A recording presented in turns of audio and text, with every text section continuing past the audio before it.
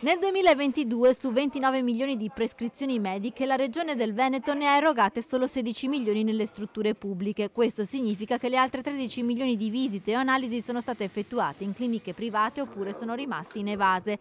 Rispetto al 2019, anno di riferimento pre-pandemia, le prestazioni mediche non evase sono aumentate di un milione. Il PD regionale parte da questi numeri forniti dalla quinta Commissione regionale sanità per lanciare la sua mobilitazione a sostegno della sanità pubblica. Il tema centrale fondamentale sono proprio le liste d'attesa. C'è una legge, che è la 124 del 98, che è chiara nel dire che nell'ipotesi in cui i tempi non vengano rispettati o quantomeno non venga data l'erogazione correttamente al cittadino che lo richiede sulla base di una prestazione medica firmata da, ovviamente dal, dal medico di famiglia, il, il, cittadino può rivolgersi all'USD, quindi alla dirigenza, e chiedere anche in via eh, di libera professione intramuraria la prestazione con pagamento ovviamente a carico dell'azienda stessa. Una legge troppo poco conosciuta e così quasi un Veneto su due è costretto a rinunciare alle cure o a rivolgersi al settore privato pagando di tasca propria per superare i tempi infiniti delle liste d'attesa. Ma anche la Regione Veneto ne è a conoscenza, noi abbiamo depositato una mozione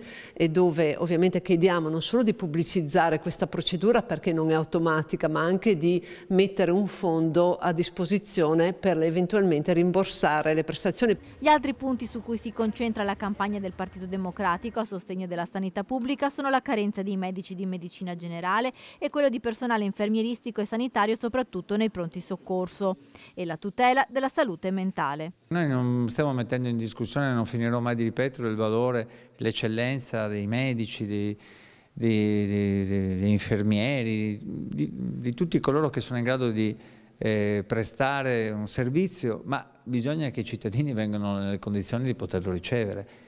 E quindi è un problema di organizzazione regionale che non è più di eccellenza. La salute è anche una questione di tempo molto spesso e quando non ce l'hai puoi decidere di non curarti, però questo è un fallimento del sistema sanitario regionale che dovrebbe garantire l'uguaglianza dei diritti di tutti. Nei circoli DEM Veneti e online sarà possibile sottoscrivere la petizione.